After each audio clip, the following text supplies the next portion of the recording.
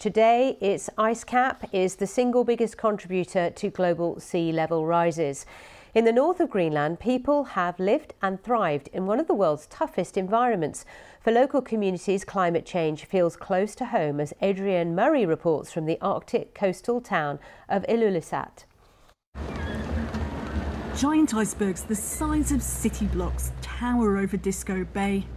Galarak Mathiasen has been fishing in these icy waters since he was 14 years old.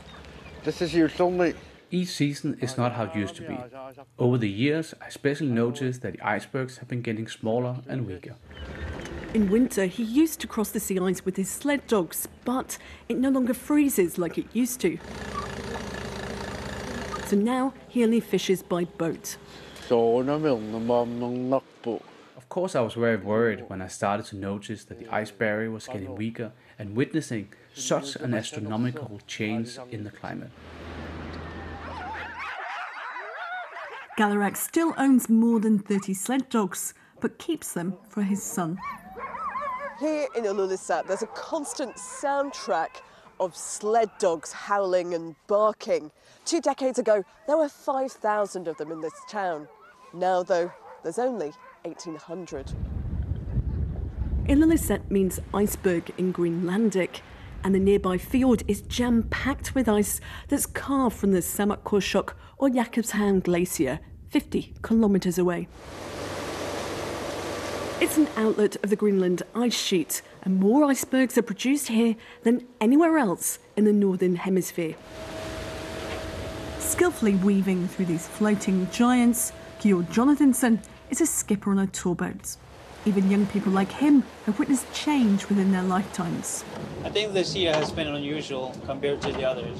A lot of places in Greenland have uh, records in rain.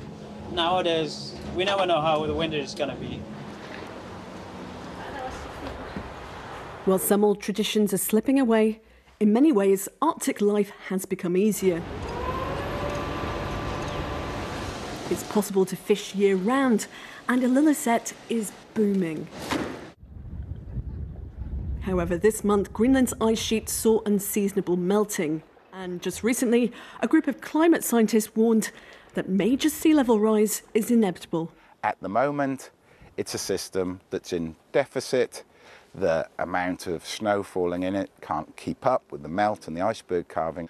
What I've come to understand in the last 10 years is that there are really, really abrupt changes going on. Research carried out before the pandemic found that three quarters of Greenlanders felt that climate change had impacted their lives. In the capital Nuuk, I met Aluna Sorensen, a young student and activist. So when you're from Greenland, you're so closely linked to nature, and all the changes you see, you see them quite clearly. People do get scared that their future is changing so much, but also their present day.